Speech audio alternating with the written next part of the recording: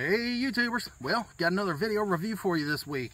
Uh, as you guys know, I'm all time dealing with kayaks and all that kind of stuff, but what you don't know is through the years, I've had all different kinds of trailers, from car haulers to utility trailers. I've hauled lawnmowers and cars and boats. I've had boat trailers. I've got jet ski trailers. I've had all kinds of stuff. And so, uh, you know, I've used plenty of different straps and things like that, uh, but I found a new strap uh, that I figure I'd tell you guys about. It's from a company called Strapinno.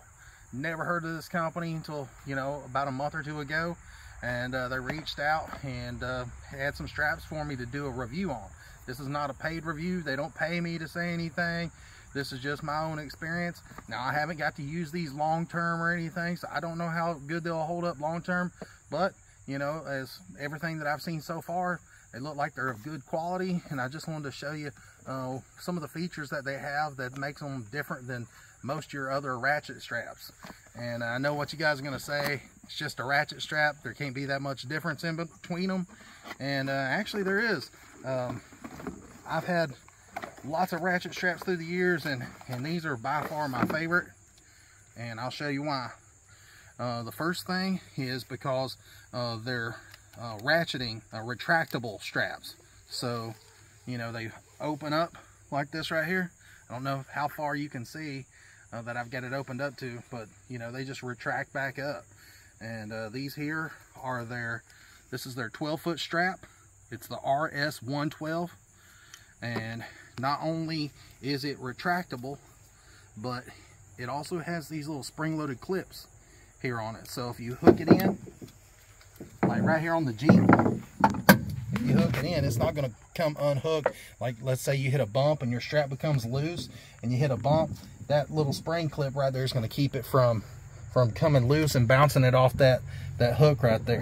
Now, another feature that I like about this is, you know, you is it's one piece, it's not two.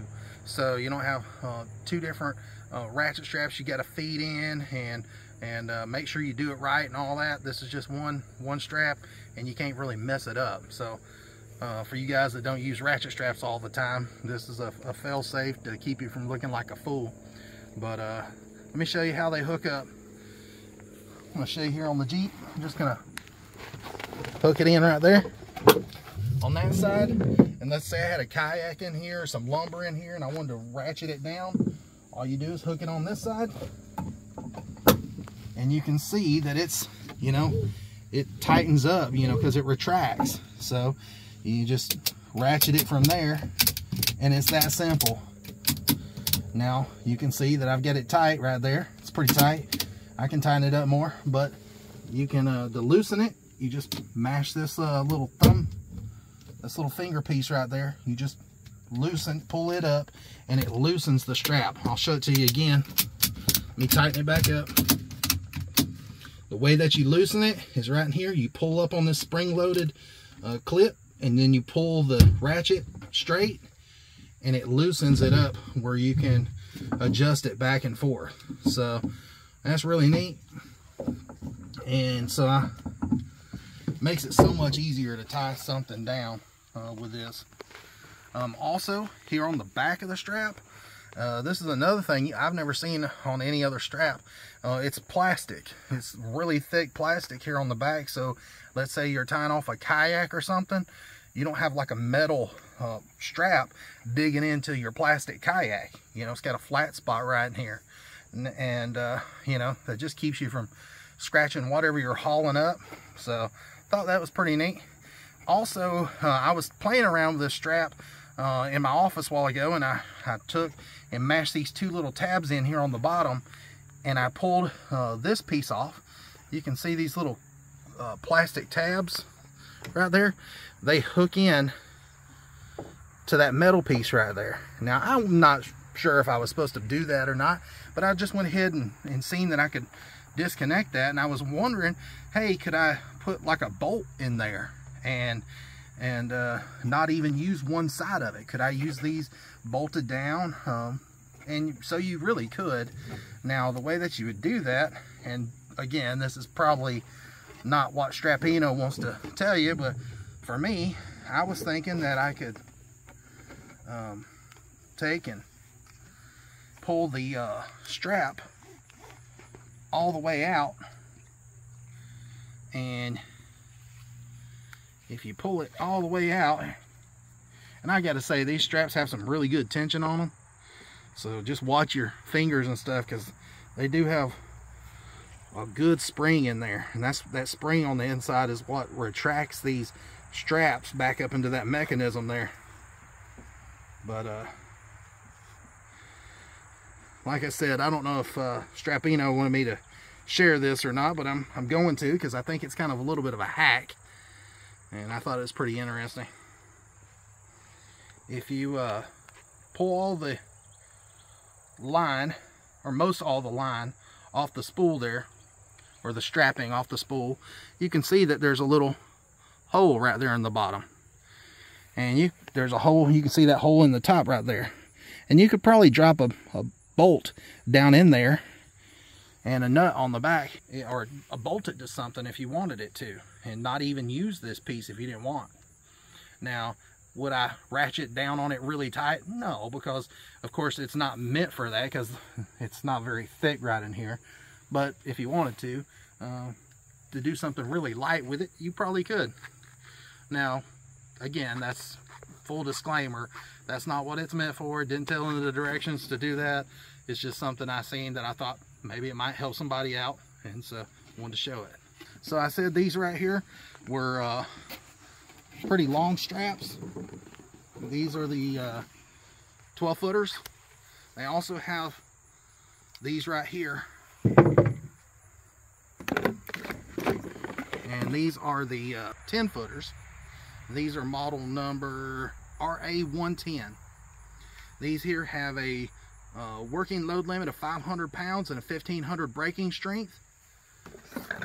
These right here are the 12 footers and they have a 600 pound 1800 pound brake strength. So a little bit of difference between the two. These are a little bit lighter duty than these here but these are pretty much the same same thing. They're retractable. All you have to do is pull up on that straighten that out and then they they pull out and uh, on these here, one thing I did notice was the plastic right in here was really thick. Um, now, ratcheting uh, straps that retract are nothing new. I went to Walmart the other day. I seen some at my local Walmart that retracted, but they looked like they were junk. To be honest with you, the plastic on it seemed really thin, and they just didn't seem like they were very good quality straps. Plus, they didn't have this safety clip on there. And so, that's why I really like these. And uh, I did, couldn't tell from the packaging because I didn't buy them but I don't know if they uh, have this plastic backing on there or not. So I thought that was really cool. Now if you're not a fan of the safety clips right here Strapinno's got you covered on that too. They've uh, they've got these uh, soft loop straps. If you've never used these they're really cool um, basically, it's like a uh, seatbelt material, and these are like the best ones I've ever seen. I mean, you can see all the stitching in these, and these things are just beef. They are very, very beefy. And so the way that you would use something like this, let's say you didn't want to scratch up what you were working on, you could just run these through this hook here. And then now you have two loops to tie tie off to. So you just take, hook it in like that, right there, and now it's not gonna scratch up what you're working on. Now this is probably not the best case scenario to show you because it's not a very big tie off. This would work better on like, let's say a kayak. All right, now I have a, a third set of straps here. And what these are for is for like a marine use. If you want to use these on like a boat or a jet ski or uh, even a kayak, you, you could use them for that. Uh, but uh, the one thing I like about these is because uh, they're stainless steel, so they're not going to rust on you. So I figured, you know, that that's pretty pretty nice to have some that are stainless because a lot of times when you're getting into the water or even salt water, the mechanism in here will rust up and it just makes it a pain in the butt to try to operate it and this starts getting clunky and it doesn't want to work right.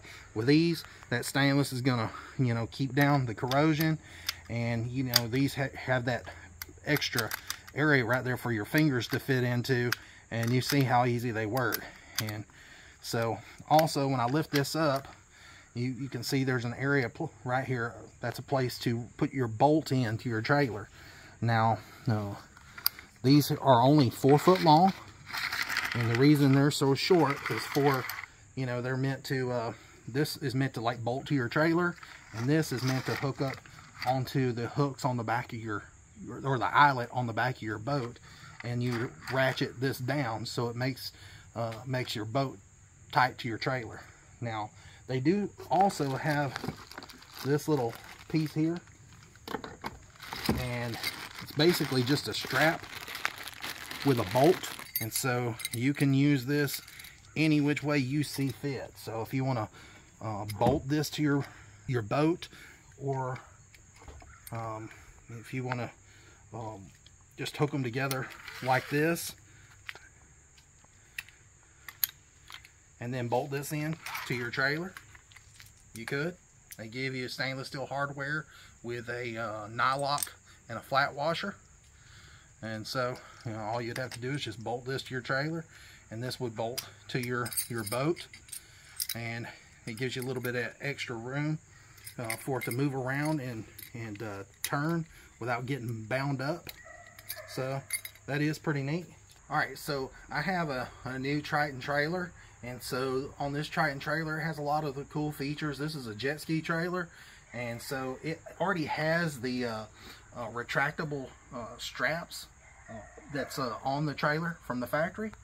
And, you know, when you put them together up here, um, they don't have a uh, locking clip. So what I have to do is kind of lock them into one another. I've got this strap hooked into that hole and that strap hooked into this hole and they're kind of just interlocked. Now, I was going to take and take a set of bolt cutters or a, uh, like a cutoff wheel and cut that eye off and replace these little hooks here with like a heavy duty carabiner. But, you know, by the time you do that, spend money on carabiners and cut these off and hope you don't nick that, that strap, then, you know, you're going to, you're going to be into it a little bit of money. And, you know, if you nick the strap, you're, you're out a lot of money. And so, anyways, that's why I decided to, to get these was because once these wear out, I'll have a set of backups. And um, since these are, are stainless steel, I think it looks better with the aluminum trailer. You know, where these are like a, a cadmium color, I think the, the stainless steel just looks so much better against the aluminum than the that yellowish color. Plus, uh, these straps here are a lot wider. These are only like one inch wide, where these are two inch wide. And you can see that, you know, it's a lot, lot wider material and it's going to be a lot stronger. Plus it'll, you know, distribute that load uh, over a wider amount of area versus trying to distribute it over one inch. Now I wanted to show you uh, just how um, strong the, the retracting mechanism is on these. You can see, uh, man, I don't want to get popped in the face, but that's four foot of strap with a heavy carabiner type style safety clip on the end of that. So I said earlier that you could use these straps here to, you know, haul your kayaks. Well, like on the back of this one kayak that I have, it's got a really uh, thick molded plastic handle. And so if you tried to use uh, just a regular ratchet strap, you know, you could. You could do it like that, but that metal is going to be touching your your pla uh, plastic kayak. And I know it's, uh, you know, it's it's got like a coating over it, like a rubberized coating, so it don't scratch it. And that's true, but if you're worried and uh, don't want it to, that metal to be touching this at all, then, like I said, you could always take and uh, use a soft strap and just run that through the handle like that and then run your your uh, clip through there and use this so there's no chance that metal would ever touch that kayak just keeps your your plastic all nice and keeps it from getting scratched up now I told you guys that uh, the uh, retractor spring on those other two uh, straps is, is pretty strong, and this one is too. Uh, you can see that it, it retracts up pretty good. You know, you might have to jar it a little bit to get it the last few inches up in there, but uh, it seems to work really good. I sat in my office today and I put this up underneath my foot and would pull it back and forth just to see if I could, you know, have a, a, any problems with it retracting and it retracted every time. So like I said, I can't speak for long term, but they, they seem like they're of good quality. Now, if you get these right here, they do come with a bag. So that is pretty handy, but you got to think if these were re regular ratchet straps and they're they usually they're in two pieces uh, normally you know when you buy ratchet straps. Uh, so you've got this piece over here and this piece over here and to try to wind them up you've got ratchet strap everywhere and they get tangled up with these you don't really have to worry about it. And so you know I just think that's pretty neat and if you take them all and put them in a, a baggie like this then they're right where you need them but anyways uh, me go ahead and wrap this video up. Uh, like I said this was not a paid review of any kind. I'm not no business none of that. Um, this is just uh, me doing a review. Like I said they reached out to me and I'd go ahead and tell you if this was a piece of crap I'd let you know. I don't have any skin in the game here. Uh, this is a, an honest review. So I just think it's a, a good product and you know if you want to ask me down in the comments six months from now how good it's doing I'll let you know. So until next time guys I appreciate you watching the video. Please like and subscribe to my channel and uh, check out my group on Facebook fishing kayak mods. Got over 52,000 members and check out my other group kayak trailer mods. Got about 14,000 members. And if you're interested in the uh, Strapinno straps uh, doesn't matter which one I'll put a link to their website down below in the description. So look on down below you'll see it in the description. You'll see their website and I'll try to put uh, a link in there where you can just click on it to take you to their website and you can check everything out. They've got a bunch of their straps on there. They also have some straps on Amazon so check those out as well. And uh, you know if you want some straps that you didn't see in my video they've got probably what you're looking for as well they've got some heavier duty straps for like you know car hauling and things like that and then they also have another strap that's pretty cool. It's for hooking up a, a jet ski. So it has a hook for this side, a hook for this side, and an actual hook in the middle where you can um, run it up to your jet ski and have a, a hook over here on both sides to tie tighten it down to. And the hook, middle hook just goes right up to the center of the back of the jet ski. I'd never seen one of those before, but uh, I'd watched a YouTube video on it myself a while ago and happened to see uh, that they carried those. So I thought it was pretty neat. But uh, anyways, appreciate you guys watching again. Have a good one.